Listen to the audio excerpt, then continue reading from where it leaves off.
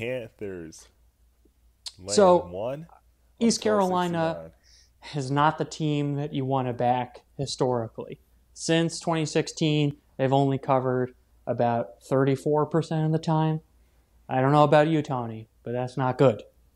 Uh, East Carolina has not been a good team, but I think I don't understand how they are even favored in this matchup.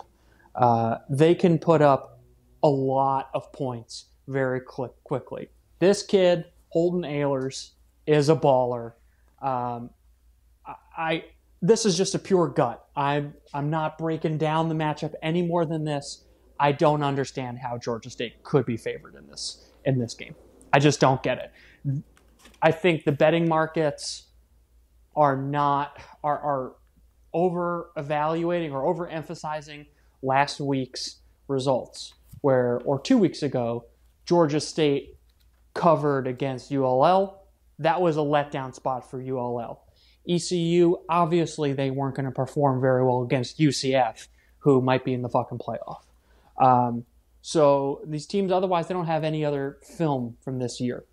I like ECU to win this game outright. I'm going to be back in the dog, um, obviously on the money line, but it's only, they're only a, a one point dog.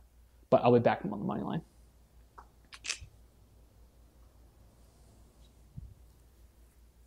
So, what do you make of the Panthers quarterback Cornelius Brown? What do you make of this slender young man?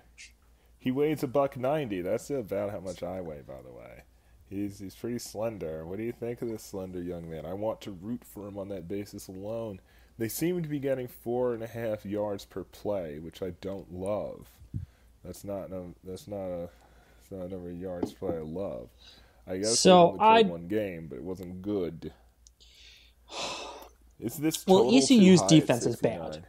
Um, I don't know about Georgia Georgia State, um, but ECU can put up points. Um, let's look at this real quick here.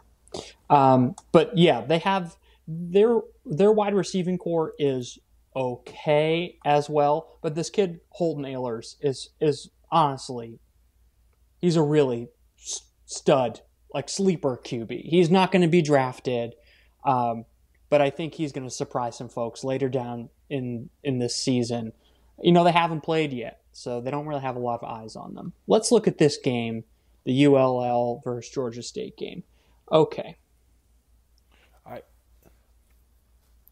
So this is so this is the debut. No, they played UCF the and they lost. I but see. In this hmm. game, I don't. It looks like okay. There were two turnovers in the ULL Georgia State game. Fine. Um, ULL out. Oh my God! ULL outgained Georgia State by hundred yards. What the fuck happened in this game? I did not watch highlights, mm. but this this smells fishy here, right?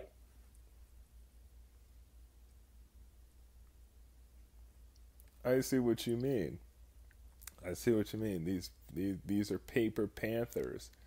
Okay, you want to? No, I'm going the money line. Of You didn't with give the yourself a lot of just to win the game. Plus one. Well, it doesn't really matter. But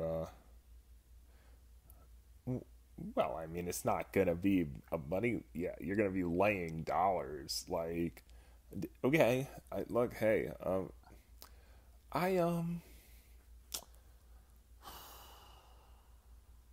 yeah, I I see I see East Carolina winning the game.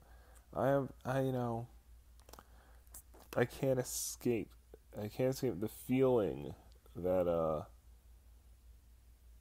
that uh, that the Panthers are going to try to win this game desperately. Though this might be a bit of a kitchen. Let's see situation. here, real quick, Tony. So on, yeah. So all the uh, from an odds perspective, it's kind of crummy. So for plus one is minus 115 on DraftKings, money line is minus 106. So yeah, no matter what the situation here is, here is I got to pay the juice.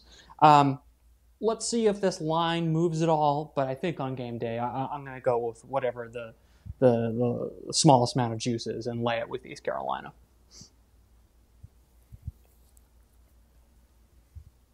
All right, I feel you. Okay.